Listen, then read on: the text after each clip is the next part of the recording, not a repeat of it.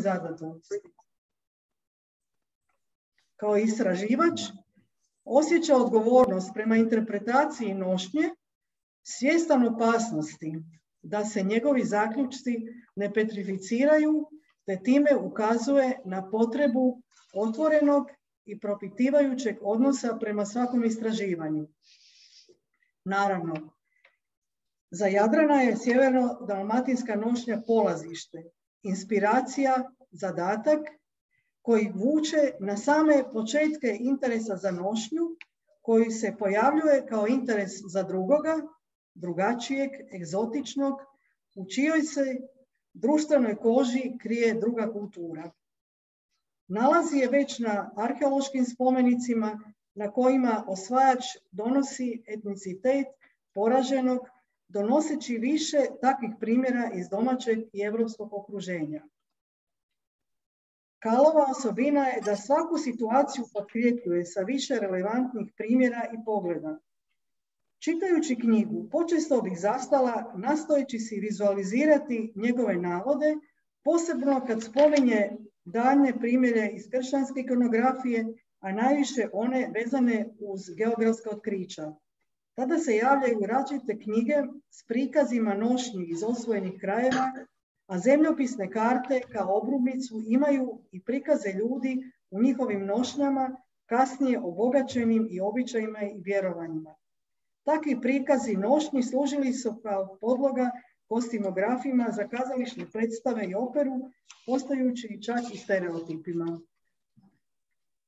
Nošnju se ne može razumjeti bez poznavanja povijesti određenog područja, a ta povijest se može vrlo dobro saznavati iz arhivske građe, jer je u njoj zaustavljen stvarni život određenog vremena. Istražujući u arhivu otkriva veliku važnost odjeće koja se darovala ili za posebne zasluge u obrani teritorija ili kao dio uobičajenog nasljeđivanja.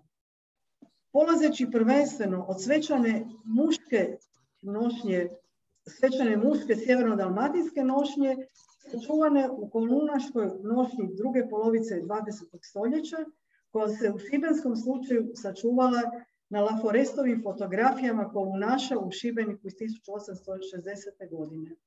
Tako na muškom haljetku, koporanu, može se uočiti izvezeni motiv životnog stabla. Ja mislim da ćete imati prilike i ovdje vidjeti taj uh, snimku toga. Ovakav koporan se, osim u domaćim muzejima, čuva u Victoria i Albert muzeumu u Londonu, a moram spomenuti kako mi jedan takav koporan koji je sama izvezla donijela pokazati prvi godina ovog stoljeća Vezilja iz Kruševa u Bukovici, inače terenska dobavljačica tradicijskih predmeta iz svoje sredine. Ono što je zanimljivo, ona ga izvadila iz kutije s napomenom da ga izradila za stipicu, misleći da je meni odmah jasno na kojeg se stipicu misli. I onda mi je objasnila kad sam ja pitala o kome se radi, naravno se mislilo na tadašnjeg predsjednika Stipu Mesića kojemu je darovala taj koporan. Inače su takvi koporani bili dijelo obrtnika. U ostalom, promatrajući sjeverno-dalmatinsku nošnju, stalno se isprepliče domaća, kućna, ženska proizvodnja i obrtnička. Da se vratim na dijelove muške nošnje, koji se posebno spominju u arhivskoj građi. Osim koporana, tu je i prsluk koji je obično ukrašen kovanim ukrasima, te kabanica, venevreci, pašnjača i oružje. Ova nošnja svoje izvorište ima u vojnoj odori, to jest e, vrsti husarske uniforme konjanika Matije Korvina, koja u 19. stoljeću prelazi u civilnu mušku, a djelomice i u žensku nošnju. Tako imamo recimo po gradistima i varošicama polovicom 19. stoljeća mogu se vidjeti ženski ačići koji podsjećaju dosta na tu odjeću. Nalazimo je i na slici Stojana Jankovića koja se čuva u obitelji desnica u islamu Grčkom iz 17. stoljeća. Prepoznajemo na crtežu Harambaškog vojvode Pokorića kojeg donosi Ivan Lović. Društveno-političke okolnosti organizacije vlasti u kojem na sjeverno-dalmatinskom području dominira Venecija u stalnoj napetosti, posebno zbog osmanlijskih upada na njezin teritorij, razumljivo je da se mora aktivirati muška obrambena snaga ruralnog stanovništva Sjevera Dalmacije, te hrabrost, junaštvo postaju dominantne muške vrednote koje su od važnosti za očuvanje državne vlasti i obitelji, zadržavajući ženu kao čuvaricu kućnog obiteljskog svijeta. Ovo je posebno dalje izraženo kroz vojnu krajinu u kojoj se 1757. godine propisom odvaja vojna uniforma od ophodne, to jest mirnodobne uniforme, koja se zbog troškova proizvodnje nastavlja proizvoditi u vlastitim kućama ili u lokalnim manufakturama. Sve do 19. stoljeća, to je do doba romantizma, polako sazrijeva osjećaj pripadnosti izražen u nošnji prvo određenom feudalcu, koji je čak kao najviša instanca predstavljen u liku države, da bi se kroz 19. stoljeće uvrijeđio termin narodna nošnja, koji se veže u seoski izgled odjeće. Kale ukazuje na političke okolnosti koje dovode do ovakvih svačanja, te tehnološki zamah koji počinje bržim razvojem industrije, koji pak ukazuje i na važnost obrtničkog i ručnog rada, izraženog posebnog u narodnoj nošnji. Uvodi nas također i u digitalno doba i nove mogućnosti koje se stavljaju pred nošnju i odjevanje općenito. Jer kako kaže, nošnja, odjeća, nije za kućnu upotrebu, već za pokazivanje na ulici, trgu, Twitteru. I dok je tako, a to će biti, uvijek biti, jer odgovara osnovnoj čovjekovoj potrebi za viđenjem, pokazivanjem i komentarom. I na kraju da zaključim. Obilje primjera i referenci iz različitih povijesnih perioda, kao iz naše svakodnevice, ukazuju na autorovu istraživačku temeljitost, a nama pomažu da u svim životnim pojavama i oblicima razumijemo složenost, dinamiku različitih komponenata i njihovu međusobnu ugradivost, zakonitost i odstupanja, čuvajući se na taj način od jednoobraznosti i prebrzog zaključivanja.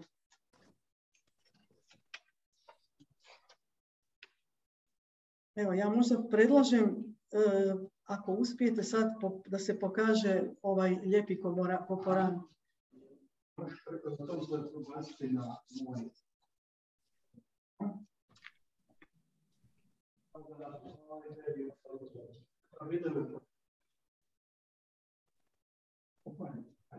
koporan.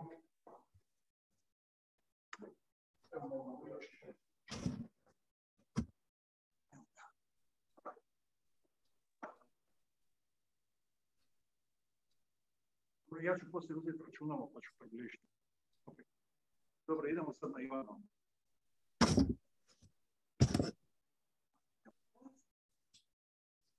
Čujem Jadranov glas da idemo sada na Ivana, jer sam dobro to čuo. Da ja sada nešto kažem ili će biti još jedna najava možda?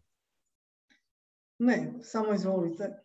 Samo da kažem. Dobro, evo još jedan put dobar dan iz Beograda i pozdravljam i koleginicu Lulić Štorić i autora ove knjige, mog sada autora Jadrana Kalea u Zadru i moju koleginicu Ljiljanu Gavrilović u Beogradu i sve i on. I moju autorku. I takođe moju odavno autoru, tu autorku i sve koji su odlučili da prate ovo predstavljanje knjige o kojoj je reč odjevanje naroda. I ja evo odmah da kažem da sam veoma zadovoljan što sam objavio ovu knjigu i imam zato dva razloga ili dva objašnjenja. Najpre zato što je njome, dakle objavljivanjem ove knjige, krunisano moje dugogodišnje prijateljstvo, moja dugogodišnja saradnja sa autorom, sa Jadranom Kaleom i ima verovatno više od 30 godina kada sam Jadranu iz Beograda poslao Dvornikovićevu karakterologiju Jugoslovena.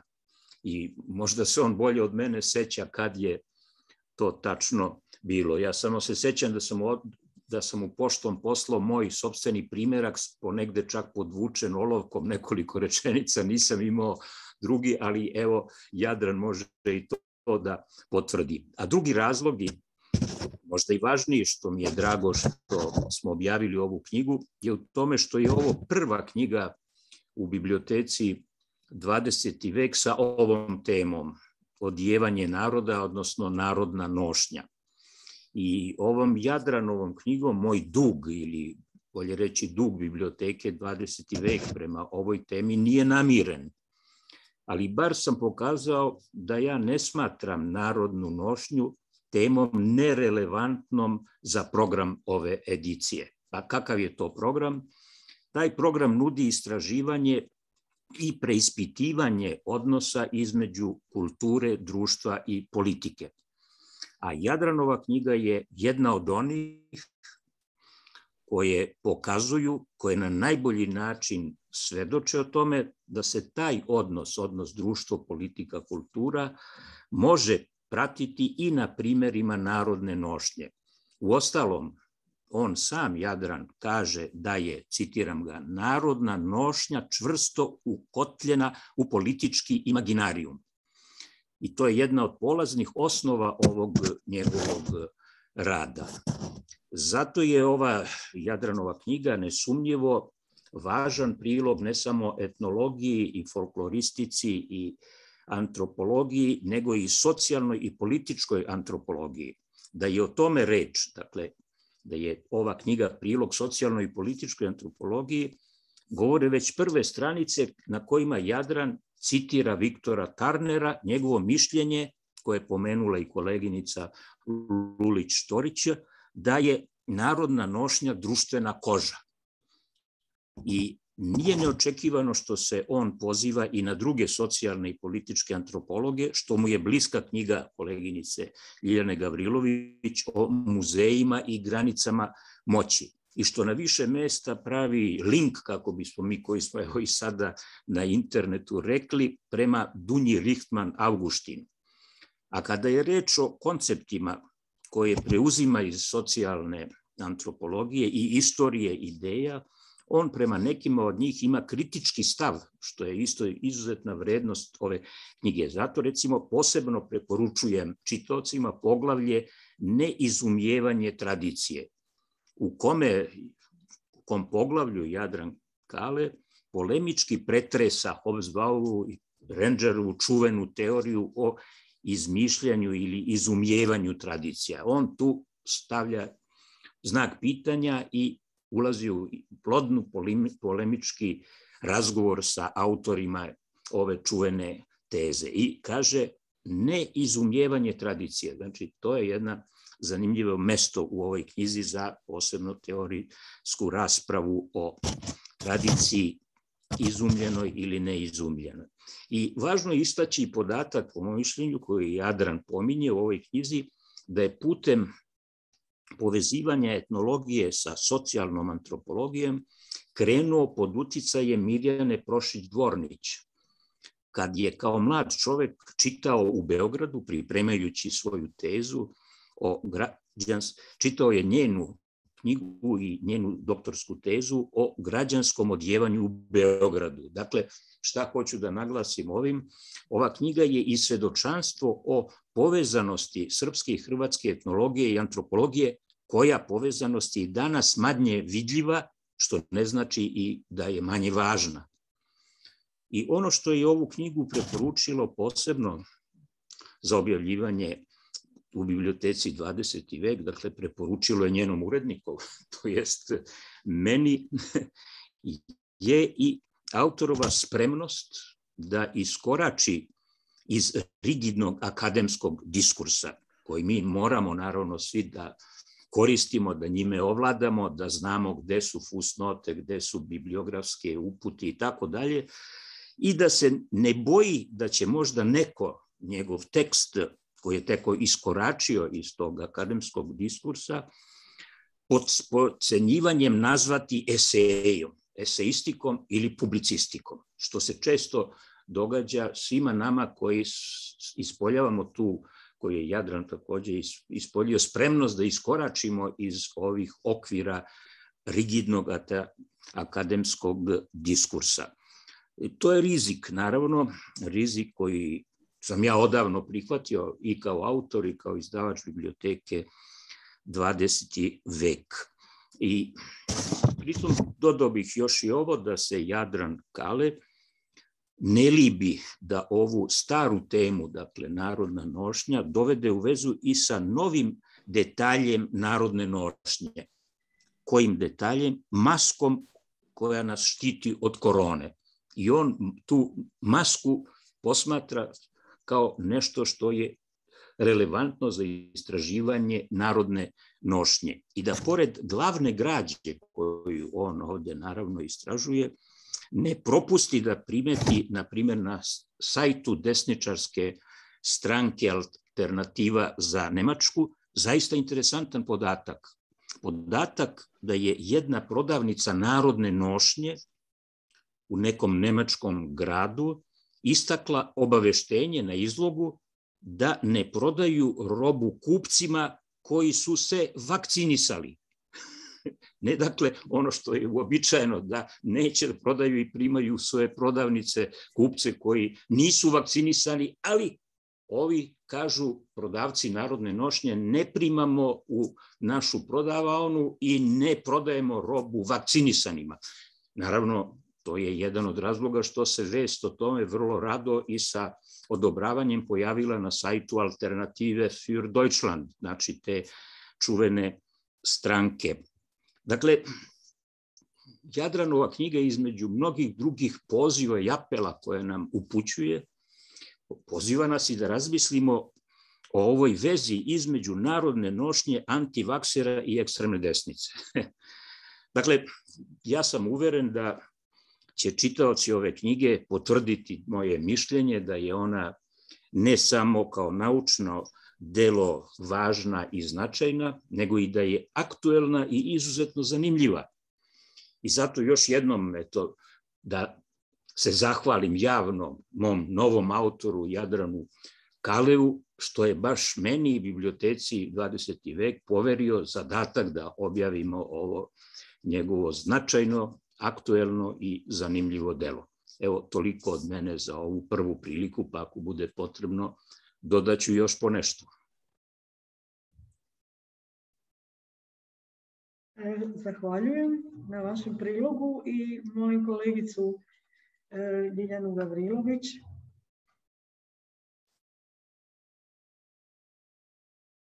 Dakle, sad je red na mene. E, Moram da se zahvalim e, Jadranu prvo što me pozvao da učestvujem u ovoj promociji. E, naravno Ivanu Čoloviću na svemu onome što je uradio za sve nas tokom ovih 50 godina biblioteke 20. vek. Sve što sam u životu naučila, naučila sam zahvaljujući njemu. I moram da kažem da mi je izuzetno drago što je ova knjiga s jedne strane objavljena, a s druge strane što je objavljena negde u biblioteci 20. vek, jer to povezuje nekakve, nekakva dva moje interesovanja ili dve moje ljubavi e, spram moderne discipline, discipline koja preispituje ono što je podrazumevano a, i daje nam potpuno nove i zanimljive uvide u stvarnost koja nas okružuje i dan danas. E, moram reći da je e, zanimljiva ta priča sa nošnjom nošnjom, ja nošnju uvek stavljam pod navodnike, jer pod nošnjom podrazumevam samo ono što se nalazi e, u muzejima, pa što etnolozi zovu nošnjom i ono što je na e, sceni kad se pojave kulturno-umetnička društva. Inače je to odevanje, ljudi se oblače kako se oblače, a naše je da razmotrimo zašto se oblače na taj način i kako bi se u drugačijim uslovima mogli oblačiti, odnosno odevati. E, meni je e, negde najjasniji opis Jadranove knjige, citat, Narodna nošnja kao predindustrijska fantazija u romantičarskom ključu. Ovom rečenicom je rekao sve. Dakle, da je fantazija, mi je danas imamo kao fantaziju, a i naše kolege koje su skupljale predmete za muzijske funduse e, su je imali kao fantaziju. Dakle, to nisu, to nije odličja koja je nošena kod kuće kad se radi svaki dan, e, nije ono što čini svakodnevni život, to je nekakva odeća koja je e, izuzetna, koja čak i kad se nosi, se nosi samo u posebnim prilikama, ali su to lepi komadi, pa pošto su lepi komadi, oni su zavredili da se nađu u muzijskim fundusima. A onda na osnovu muzijskih fundusa e, i preporuka naših kolega se ti primjerci pojavljuju, odnosno replike tih primjeraka se pojavljuju u kulturno-umetničkim reprezentacijama tradicije. Kulturno-umetnička društva imaju običaj da kažu kako oni čuvaju tradiciju, e, iako se kolo nikad nije igralo na bini i opanci nisu kreirani za e, scenu, nego za livadu. I ljudi se i danas uhvate za ruke pa cupkaju u krug po livadi igrajući kolo, ali to potpuno drugačije izgleda od scenskog prikaza. Scenski prikaz podrazumeva, podrazumeva i maskiranje, odnosno oblačenje za scenski nastup, odnosno narodnu nošnju. A onda se ta slika narodne odeće e, u javnom diskursu pretvara u ideju o narodnoj nošnji kao nečemu što nas obeležava, odnosno što nas razlikuje od drugih. E, nekako uh, nije čudno, a možda i jeste. Uh, desilo se da se uh, tokom transformacije, odnosno antropologizacije etnologije, tradicionalne etnologije koja je postojala u svim našim državama, bar u Srbiji se desilo da je nošnja potpuno ispala iz e, predmeta interesovanja.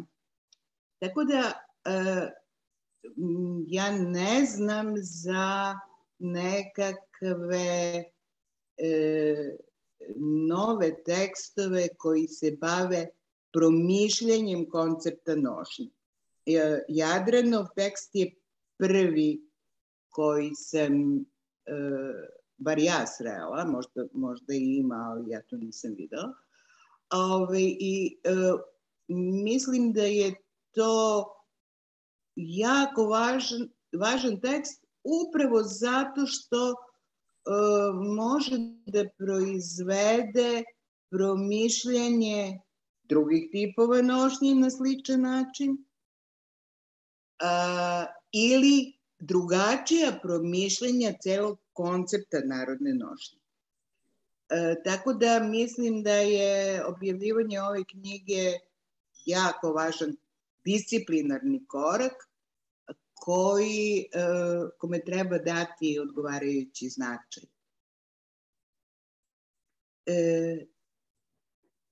Kako se desilo da se nošnja koja je bila zapravo najatraktivniji deo Uh, istraživa, istraživanja, uslovno rečeno, u okviru etnologije, da potpuno nestane.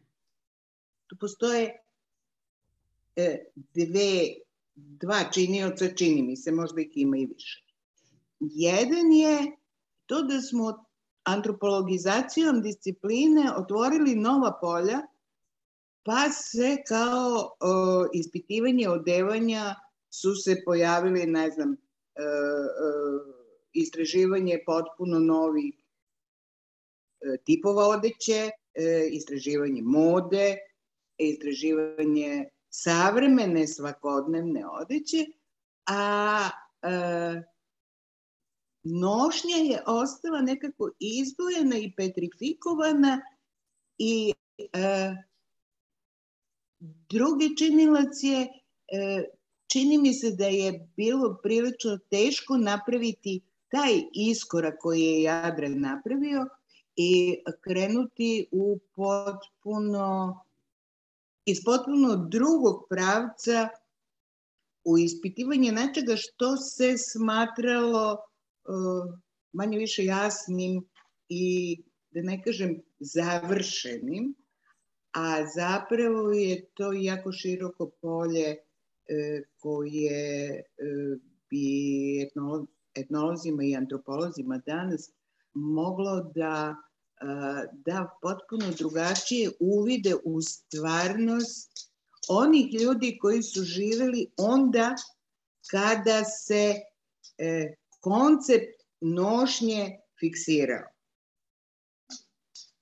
A, naravno da za to nemamo dovoljno podataka ili da je do podataka a, dosta teško i mukotrpno stići, kako se vidi iz Jadranovog teksta koji e, obuhvata analizu velike arhivske građe, starih rukopisa, e, vizualnih izvora različitog tipa.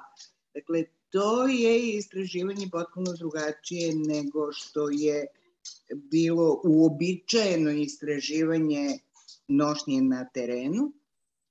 E, traži mnogo više različitih znanja i e, slobodu pristupa kakva e, prosto nije moguća u, u klasičnom etnografskom istraživanju.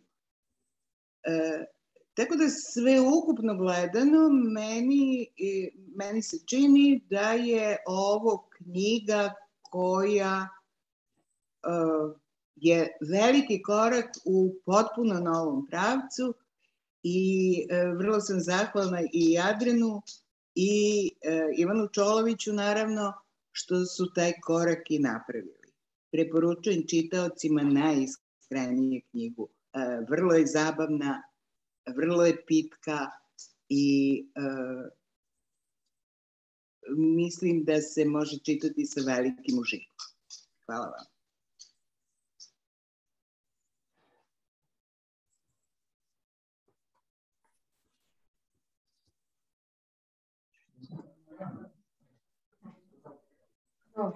Evo, pa sad na kraju e, molim autora da nam kaže isto par riječi i o svemu tome kako je knjiga uopće nastala i što je sve želio postići.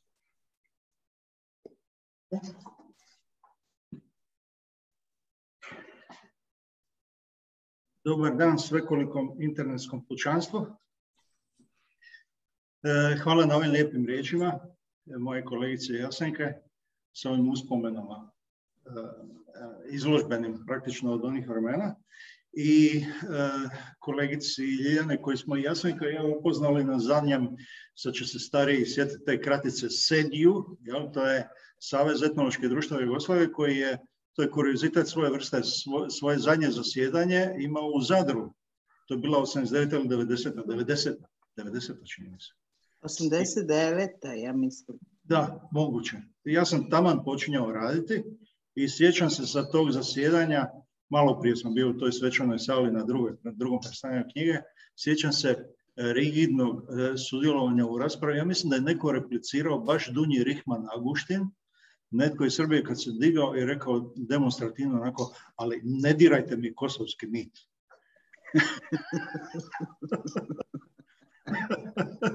Sa Ljiljanom smo imali drugačije vrste rasprava, a Ivan je već spomenuo i Dvornikovićeva etnokarakterologija Jugoslavije, njegova podcrtavanja u tom svesku su, jedno stoji mi u mojoj radnoj sobi, a on će prepoznati iz te knjige jedan od ključnih citata gdje je, ima ih više u stvari, ali Dvorniković je prenio u stvari svoje zapravo neke mladenačke uspomene i e, kako je obilazio ondašnju kraljevinsku Jugoslaviju, tako je i ima i svjedočanstvo o ljudima koji naručuju određene motive, žele da im se to tako i tako napravi. To je baš ovaj ključni motiv na Kičanom kaporanu, baš je citat iz Gornikovićeve knjige. E, u to vrijeme doista neki pretisci koji su izlazili poput Milaševe pravoslavne Dalmacije, mislim, srećom da sam i takvim kanalom mogao dobivati, jer to je bilo to je najava zbivanja koja će doći i e, naše razmjene knjige preko ovaj, blokiranih e, pošta u tih godina, evo na koncu dovelo je e, do ovoga. Ja sam čitajući 250. nakon mojeg 249. naslova u zborniku našao u, u prinosu Pere Jurišina iz Splita to je zbornik povodom ove krupne obljetnice cijele edicije, spomenuo je točno e, datum koji mi je e, sjajno se poklopio, to je jednostavno čovjeka prođeš marce nad jednim takvim podudaranjem, da je upravo na današnji dan 23. studenog 98. dakle prije 23 godine, Ivan Čolović došao u društvo Ive Žanića u Split I koliko se ja sjećam, to je bio prvi dolazak nekog srpskog intelektualca na trivinu, zapravo predavanje, e, gdje je, e, ja sam onda sjeo na autobus iz Šibenika i došao tamo.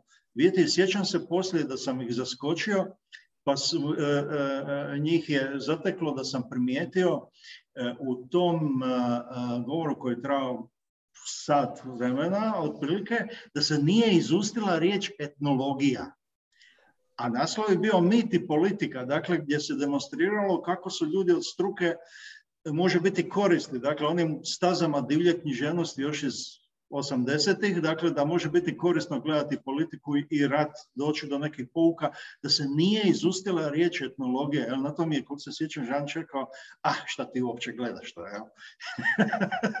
Ivane, sjećate se toga? Ako da ne, vrlo živo se sećam, ali se ne sećam da nismo izustili riječ etnologija. Ali ako je to Pero Jurišin zapisao, onda bit će da je tako. Ne mogu sad etnologiji da se naknadno posle 30 godina ispričavam i izvinjavam zbog toga, ali evo ako je nešto znači, pardon etnologiju. Nema razloga za to.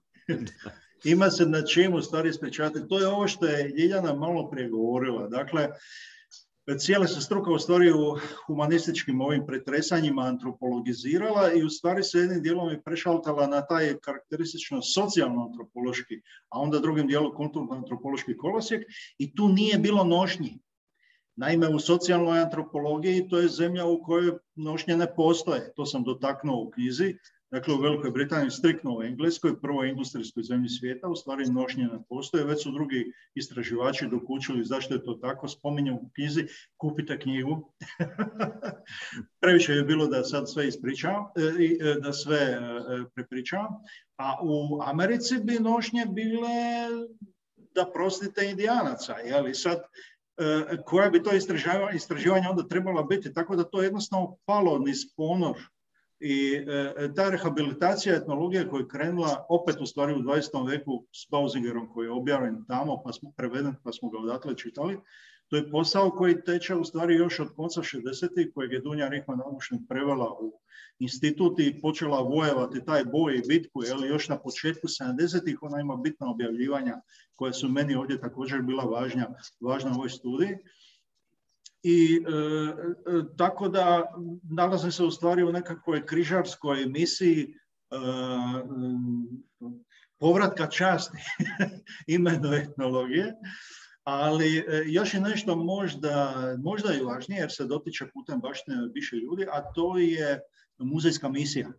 Dakle, tko prati, tko ne prati, ikom upravo se svađa na globalnoj razini da se ne može dogovoriti što muzej uopće danas jest a ja sam evo upravo iz zgrade, to je susjedna prostorija. Kao student sam dolazio još dok je Jasenka bila u prvim godinama, nakon što je pokojna Olga Oštreć uvela kroz godinu dana pripravništva u posao. To je nešto što je meni neizmjerno mnogo falilo kad sam došao u Šibenik i nisam od koga imao, ja sam bio prvi u tom poslu tamo, nisam nikoga preuzeo posao, praktično kroz godine sam se priučavao. I onda sam u Splitu, recimo, e, još dok sam bio student, e, moj pokojni ravnatelj, u stvari sa čašću, to izgovaram, on je bio direktor, nije bio ravnatelj.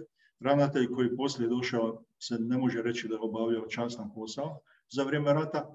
E, moj, dakle, časni direktor, pokojni profesor povijesti Slavo Grubić, me poslao da budem dva tjedna prakse ko da ide Koludrović u Split u Etnološki muzeju Split.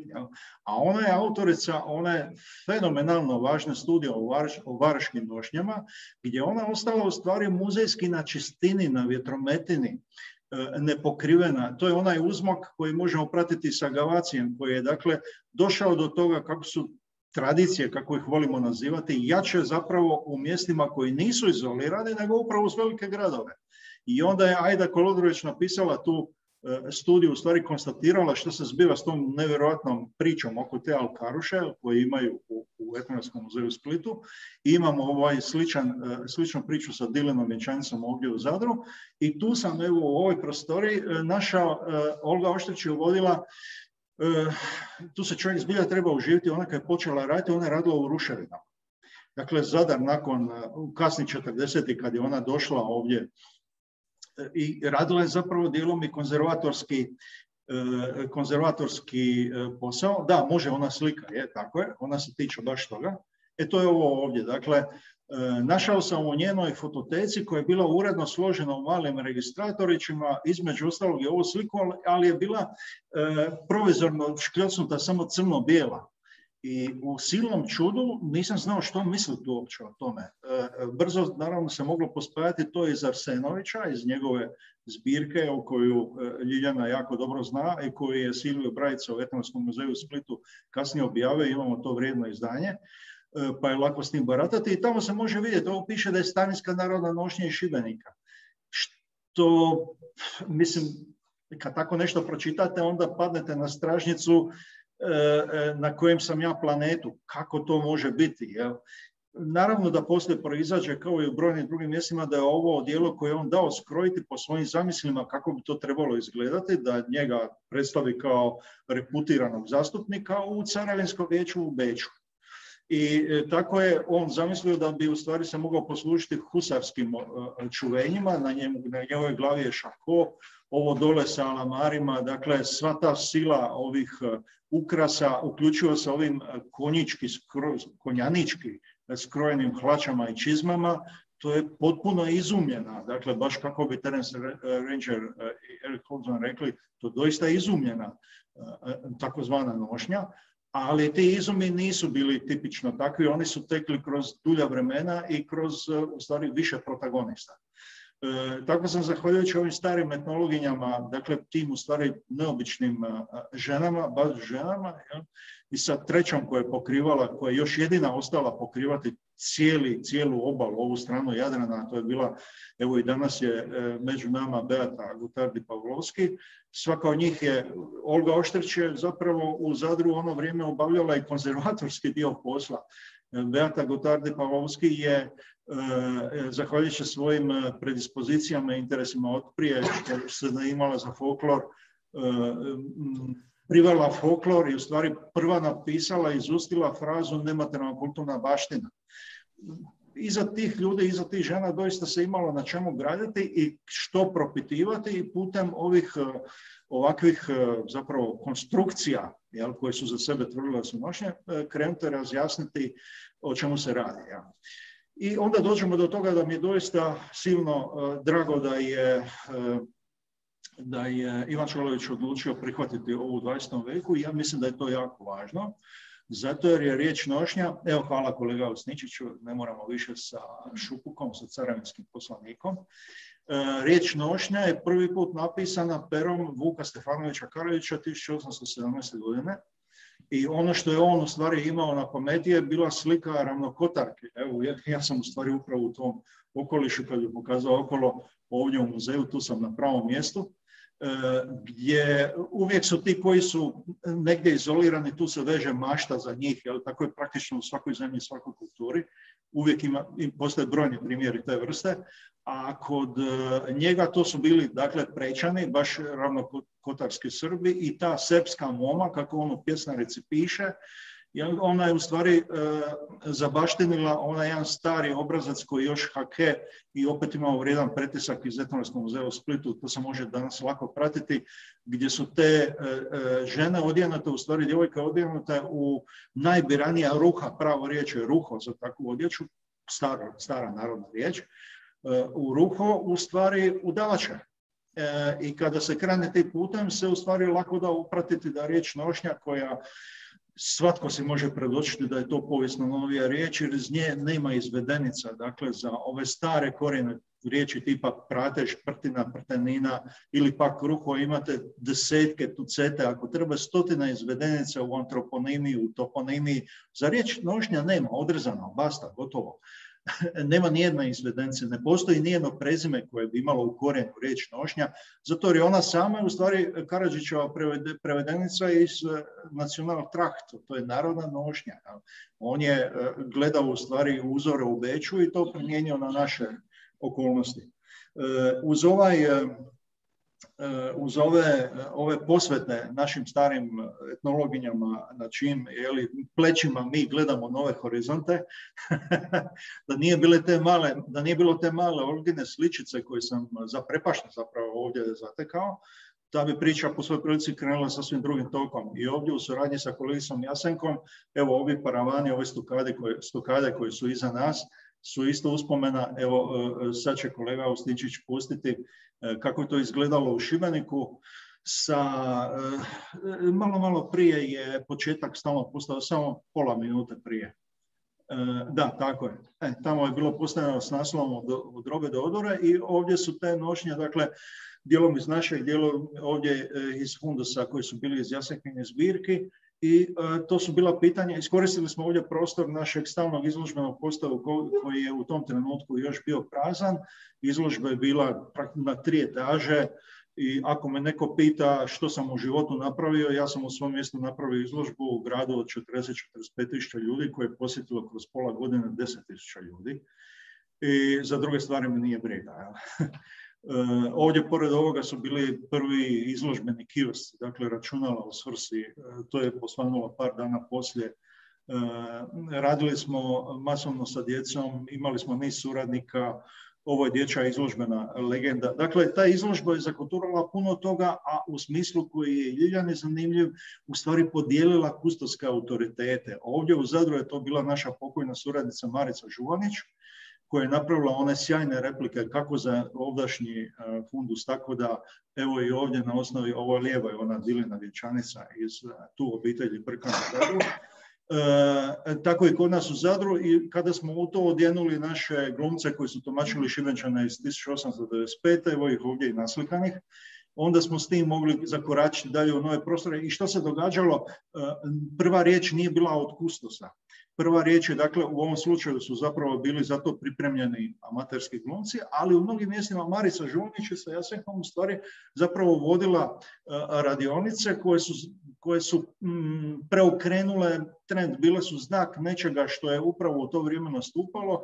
Prije toga ste imali onu voluminoznu, onu dugotrajnu seriju priručnika Hrvatskog prosvjetnog sabora, a sa Maričina dva priručnika, dok je bila s nama, nažalost ovaj, više nije s nama, e, s njena dva tematska priručnika u stvari naznačilo u kojim smjerovima će to ići u budućnosti. I da će tu riječ voditi također i neki ljudi koji nisu isključivo pustosi. I to je trend koji danas u muzeju u stvari oplemenjuje funduse, koji obogaćuje i, i dovodi do novih radionica i novih vrijednosti. Vrijednosti, dakle, u muzejima u stvari e, daje stvarati nove vrijednosti, što je naročito u etnografskom poslu važno, gdje etnografija zapravo graniči sa suvremenom umjetnošću. Vi ne možete neke stvari razlikovati jesu li etnografske, jesu li etnografske radionice temeljene na, na etnografskim bilješkama ili su to umjetnički performansi. Ja. E, e, tako da tu smo negdje na razređima vremena i sa ovim, ovim premišljanjima oko definicija muzeja, što je muzej danas sa plurivokalnostima, multivokalnostima, o kakvim je Ljiljana već davno pisala.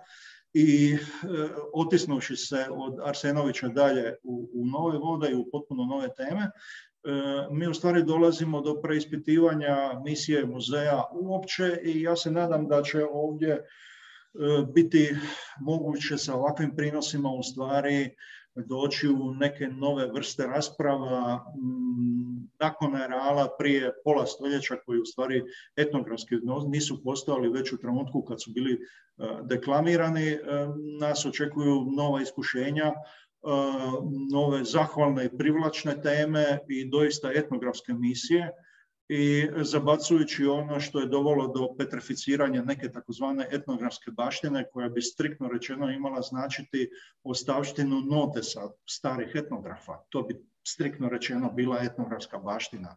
Ona je zapravo politička misija i mi od toga se jednostavno ne možemo uklanjati. Evo, sad smo u ovim vremenima sa maskama koje nosimo sa sobom, neki dan su bile demonstracije praktično svaki vikend, da bi njihova poruka bila jača, oni se odjevaju u narodne nošnje i stavljaju na glave, ja sam te dakle, prosjednike prepoznao u televizijskom prijenosu po tome što su nosili šibenske kape. Jel? Dakle, oni su nosili nešto što je zapravo izumio, ako ćemo onaj riječnik uzeti, što su izumili okretni e, poduzetni potomci jedne izbjegličke srpske obitelji iz Grbavaca kod Banja Luke, koji su preko Kosova kod Knina došli u Šibenik i u industriji narodnih veziva ubrzali tvornički proizvodnju i polučili upravo ovu kapu i tako te teme uopće idu. Dakle, na taj način se stvara nošnja, ona se preoblikuje pred nama i dobiva neke svoje nove zadatke. Mi to etnografski jednostavno trebamo pratiti. A sad ja više ne bih duljio, jer o svemu tome se može na drugim mjestima. Knjiga je, dakle, što je rekao urednik, da se prihvaćam dakle, rizika da bude svačena, ah, to ti je nešto eseistički. Ili... Ja ću dakle tome prisoliti ovako, to je jedna mala knjižica. Dakle, 20. vek uopće ima taj mali format, a još ovdje, dakle, to je koliko, 170 strana, može se pročitati zapravo za jedan vikend. Sad kao trgovački putnik koji ovaj, cigo svoga konja hvali, jel? dakle kupite knjigu, ali nastrano od toga, to je jedna toliko mala knjižica da nikog ne može uplašiti. Dakle, niti, ne znam, kolege kustose, niti studente, kojima neću zadavati da je moraju kupiti, jer mislim da će biti na dovoljno mjesta da lako mogu doći do nje. Istina, ne u PDF-u, jer to se, dakle, kogod će me pitat PDF, ima toliki respekt prema poduzetništvu urednika da njega se ne usuđujem to pitati. Ove knjige se zbilja trebaju prodavati. E, knjiga je toliko malena da e, vas pozivam savladati je za e, par dana, a sada da bi dobili nekoga koji je odgovorio na ovo postavljeno nagradno pitanje, da vidimo kakve imamo odgovore, pa ću pitati kolegu Augustinčića, imamo li odgovore na nagradno pitanje? Ne, nemamo reakcija. Ok, primjer koji stane kod mene. Aha, pitanje je glasilo, dakle, e, tko može e, napisati neku određenu nošnju za koju zna, preporučuju vlastitu koju dobro poznaje, koju je koristilo najviše ljudi, dakle da je nosilo najviše ljudi u njegovoj obitelji ili rodbinu. Dakle, tražimo broj, je li to 2, 3, 5, 10, 53, što li već. Imamo li sretnog dobitnika? Dakle, da začinimo internetsko predstavljanje. Aha, je li ima neko? Ne, nema. Dobro. Dobro, onda svi žele kupiti knjigu. Niko, svi toliko cijene da niko ne želi besplatno dobiti. U redu, mogu to i tako pretumačiti. E, dobro, ja sad ostavljam evo za e, e završni pozdrav. li imamo neko pitanje uopće još za govornike? Ne. E, žao mi je što je, da ukratko prokomentiram, nije uspjelo ovo spajanje na Facebook, tako da je ovo emitiranje preko Zuma jedino, ali zahvaljujući susretljivosti mog sveučilišnog odjela, ovdje na sveučilištu u Zadru, je kvota prisutnih bila posve široka, tako da kogod se mogao uključiti, e, to mu je bilo moguće učiniti. E, sesija se najvećim dijelom i snimala, nadam se da to nikog nije smetalo, ako je netko uočio sebe mogao isključiti snimanoga, tako da snimak će, svakako meni će sutra biti koristan u nastavi, a mislim da će ga vjerojatno i ponoviti onda na Facebook stranici ovdje i Narodne muzeju Zadru. Ako više onda oko toga nemamo pitanja, ja bi završen pozdrav prepustio našoj da kažem domaćici ili domaćinu, mislim uvijek sam u to je isto kao tajnik i tajnica, to je jednostavno strašno. Našem domaćinu, domaćici, e, domrovnoj kustosici i hvala vam na pozornosti. Ivana i Ljena, hvala puno na vašem sudovanju, na lijepim riječima. Hvala tebi.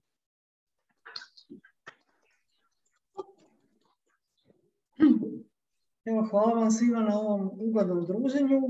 Pa evo, ja bih samo kolegici Iljani rekla vezano za ovu muzejsku građu, nekako me potaknulo, jer mi se činilo da ste istaknuli baš tu potrebu za lijepim primjerima nošnje. Međutim, mogu reći da već i kolegica Olga i ja isto tako nismo samo skupljali lijepe, nego smo nastali nekako prikazati, ako je moguće, ako se nešto otkupljuje, a trebamo cjelinu, da pokažemo baš raznolikost. Dakle, imamo primjera koji nisu lijepi. Nije, nismo tako niti, niti e, zbirke formirali, nego imamo različite primjere, mislim gdje se mogu naravno doći do toga. Čini mi se da je to, a onda naravno problem sa, sa kulturno-umjetničkim društvima, mi u Zadru smo, ja mislim, jedini valjda u Hrvatskoj koji smo kao muzeji zaduženi za to da organiziramo smotru folklora koja traje već od 2012. godine. Ja sam u početku to vrlo teško prihvatila jer mi se nije uopće činilo da to ide u djelatnost e, kustosa. Međutim, prihvatila sam to kao jedan izazov. I ovo što ste rekli o toj sceni, e, gledajući već od 2012. godine pa do 2019. kako smo imali jedan kontinuitet te smotre folklora, meni je isto malo počela smetati pozornica, da vam pravo kažem. Nekako me smetalo, to počelo smetati i razmišljam u budućnosti ako će biti te smotre, da bi bilo bolje maknuti ih na trg možda, ako se to uspije, kao što smo imali ove godine, a onda druga stvar, kao što smo imali u jednom manjem obimu, a drugo, nešto što mi se činilo jako zgodnim, da zapravo se postigne ta neka neposrednost koja je bila u tradicijskoj kulturi uopće ako su se ljudi našli oko kola i oko plesa, da to nije bilo izrežirano. Mi smo tako pokušali već nekoliko puta imati na Narodnom trgu e, radionicu. Dakle, ne, ne prezentaciju da kulturno društvo prezentira, da ljudi gledaju, nego smo nastojali imati radionicu u kojoj bi u kojoj smo pokušavali uključiti prolaznike dakle one koji su na trgu, koji piju kavu, tako da smo recimo zamolili neke kolegice koje su komunikativnije da dođu strancima, turistima, domaćim ljudima, da ih zamole da se uključe u kolo i to je bilo jako zgodno. Naravno da je bilo malo onako negodovanja, pogotovo e, našeg domaćeg stanovništva, međutim ljudi su se malo po malo uključivali u to i to mi se čini jedan vrlo zanimljiv put, barem mene osobno isto nekako veseli, jer e, je to način neposredne komunikacije koji, koji mi se jako sviđa i osobno više ga volim nego te nastupe na scenama kad smo svi kao komisija moramo stajati, gledati, promatrati. Ljudi su uplašeni jer se stalno se boje ocjenjivanja. Evo. Malo ste me nekako na tu te smotre potaknuli i uopće na to sensko prikazivanje folklora.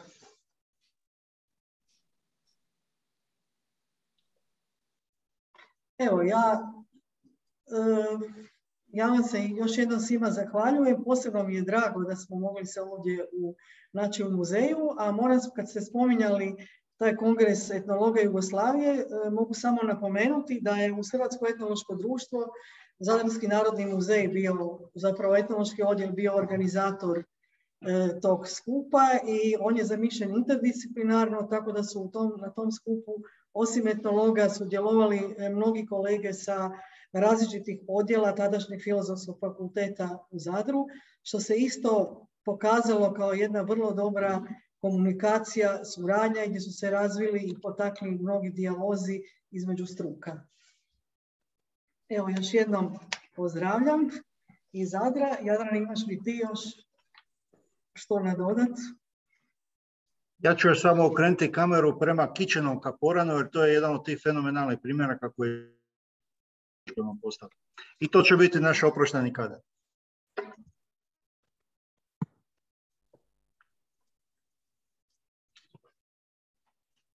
Aha, mogu isključiti, da? Okay.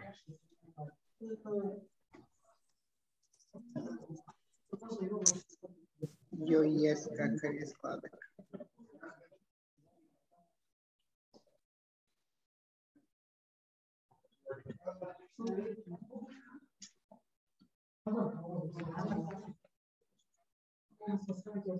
Hvala vam svima. Doviđenja. Hvala.